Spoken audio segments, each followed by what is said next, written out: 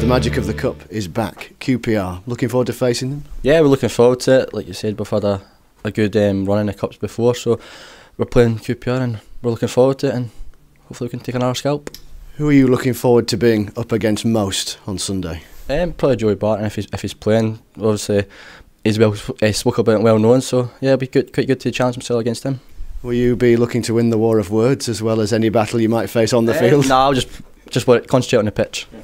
It says a, it, it, it's a great indicator for young players such as yourself to go up against players like like Joey and, and, and others at, at QPR, and a real test of, of your abilities, perhaps. Yeah, like you said, it's always best to, um, or it's always good to challenge yourself against the best players and players in Premier League to see how far you've got to go to get to that level. So it's always a good challenge, and hopefully one we'll come out on top on.